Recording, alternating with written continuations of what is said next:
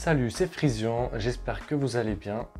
Alors aujourd'hui, on va voir comment fabriquer une softbox pour petit budget avec des lampes de bureau à 10 euros et une imprimante 3D. Alors oui, vous me direz, mais Frisian, une imprimante 3D, ça coûte cher.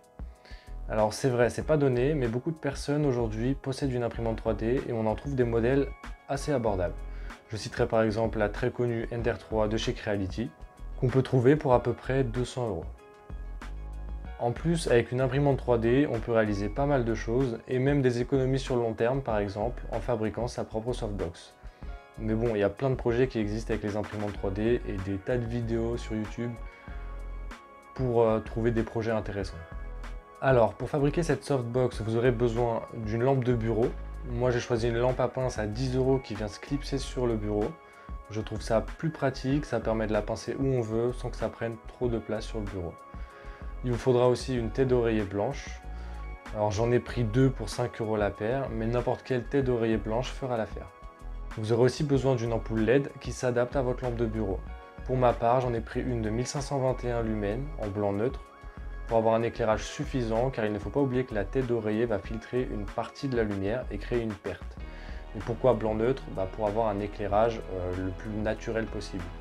L'ampoule consomme 12 watts, ce qui m'évite de dépasser la recommandation de puissance pour cette lampe de bureau.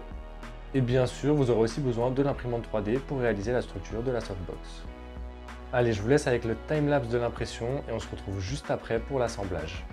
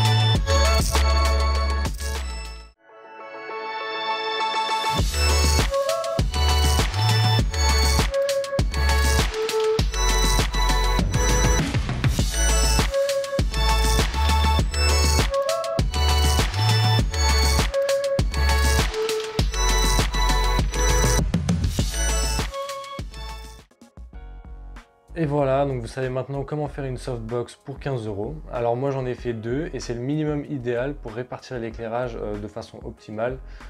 Donc euh, vous pouvez vous en sortir pour 30 euros. Bien sûr, cette vidéo n'a pas pour but de vous convaincre que cette softbox maison peut remplacer un panneau de LED professionnel. Non, évidemment, euh, loin de là. Mais concrètement, pour 30 euros, vous pouvez vous faire un éclairage de type studio qui fait largement l'affaire pour débuter les vidéos ou la photo. Et quand on voit le prix des éclairages studio, ça permet de se lancer sans exploser son budget. Au niveau de la qualité du rendu, euh, l'efficacité, euh, là je tourne cette vidéo avec les softbox, donc euh, bon, c'est pas incroyable, mais ça fait franchement largement l'affaire. Vous me direz ce que vous en pensez dans les commentaires.